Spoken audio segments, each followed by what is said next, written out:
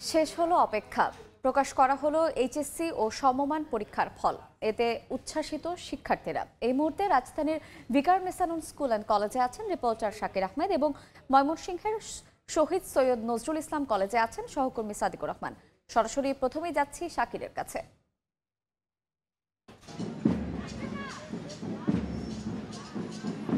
রাজধানী সহ সারা দেশের প্রায় চোদ্দ লাখ এইচএসসি পরীক্ষার্থীর অপেক্ষার অবসান হয়েছে। আমরা দেখতে পেয়েছি, শিক্ষার্থীরা কিন্তু আনন্দে মেতে উঠেছে, অর্থাৎ তারা তাদের কাঙ্ক্ষিত ফলাফল, বারো বছরের অর্জনের যে প্রতীক্ষা, সেটির ফলাফল পেয়ে কিন্তু তারা ইতোমধ্যেই আনন্দে মেতে উঠেছে। আমরা রয়েছি রাজধানীর ভিকারুন্নেসানুন স্কুল অ্যান্ড কলেজে। আমরা দেখতে পাচ্ছি, শিক্ষার্থীরা তাদের যে অর্জনের যে উদযাপন, সেটিতে কিন্তু তারা আনন্দ, ঘন পরিবেশে তারা কিন্তু সেই উদযাপনটি করছেন।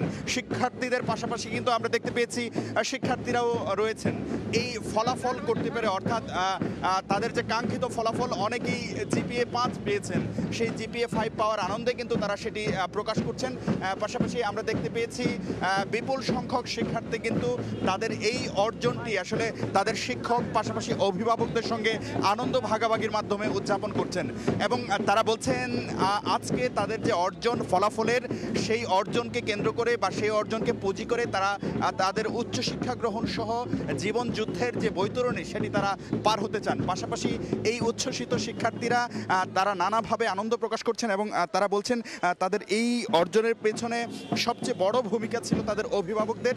পাশাপাশি তারা কিন্তু তাদের শিক্ষাগুরু, অর্থাৎ তারা তাদের শিক্ষকদের যে অবদান, সেটিও কিন্তু আজকে কৃতজ্ঞ চিত্তে স্মরণ করছেন এবং তারা বলছেন, এই দেশ মাতৃকার কল্যাণে তারা তাদের এই ফলাফলটিকে উৎসর্গ করছেন এবং তারা বলছেন, উচ্চশিক্ষাঙ্গনে নানা ধরনের যে শিক্ষার শাখা রয়েছে, অর্থাৎ কেউ হয়তো ইঞ্জিনিয়ারিং পড়বেন, কেউ হয়তো সাধারণ বিশ্ববিদ্যালয়ে পড়বেন, পাশাপাশি কেউ মেডিকেলে পড়বেন, তারা যে যেখানেই পড়াশোনা করবেন, উচ্চশিক্ষা গ্রহণের মাধ্যমে তারা নিজেদেরকে যোগ্য নাগরিক হিসেবে গড়ে তুলে দেশের কল্যাণে নিজেদেরকে নিয়োজিত করবেন।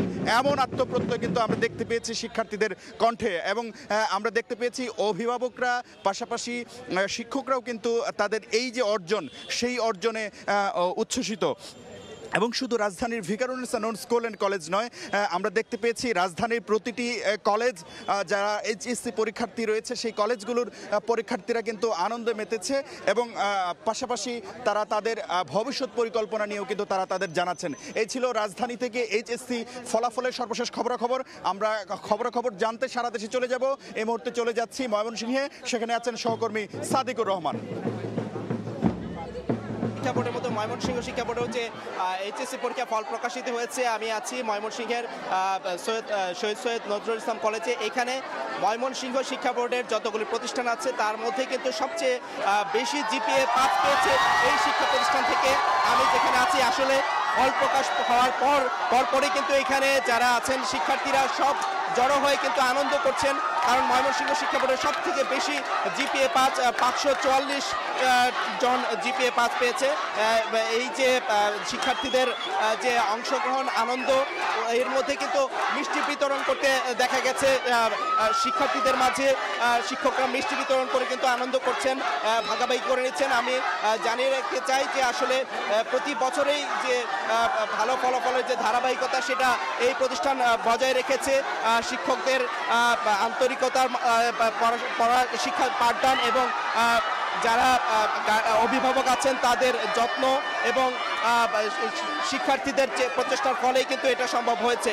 তো আরেকটা বিষয় আমি জানিয়ে রাখি যে এখানে ময়মনসিংহ শিক্ষা বোর্ডের অধীনে এবার দু হাজার তেইশ সালের যে এইচএসসি পরীক্ষা এখানে অংশগ্রহণ করেছিল সাতাত্তর হাজার চারশো সাতান্ন জন।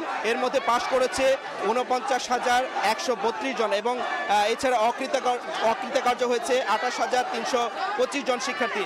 মোট পাশের হার কিন্তু তেষট্টি দশমিক চার তিন শতাংশ এ, যেখানে জিপিএ পাঁচ পেয়েছে তিন হাজার দুইশো উনপঞ্চাশ জন শিক্ষার্থী এবং গড় জিপিএ ছয় দশমিক ছয় এক শতাংশ। তো এই যে আমি যে জানতে চেয়েছিলাম এখানে যারা শিক্ষার্থী আছে, তারা যেটা বলছেন যে আসলে এই যে তাদের ফলাফলের পেছনে তাদের যে প্রচেষ্টা, সেটা ধারাবাহিকতা তারা ধরে রাখবেন এবং সেই জন্য কিন্তু নিয়মানুবর্তিতা এবং পাশাপাশি এই যে করোনার সময় কিন্তু তারা অনলাইনে যে তাদের শিক্ষা কার্যক্রম সব কিন্তু তারা চালিয়ে গেছেন।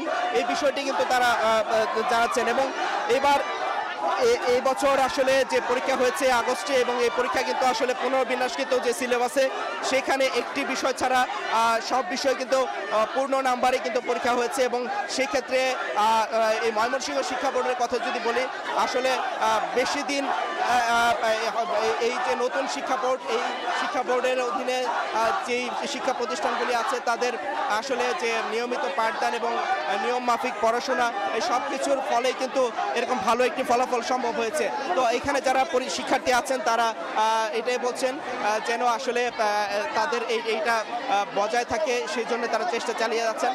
এই ছিল এখান থেকে সবশেষ তথ্য। আমরা সরাসরি যুক্ত ছিলাম ময়মনসিংহে এবং তার আগে যুক্ত ছিলাম রাজধানীর ভিকারুন্নেসা নূন স্কুল অ্যান্ড কলেজে।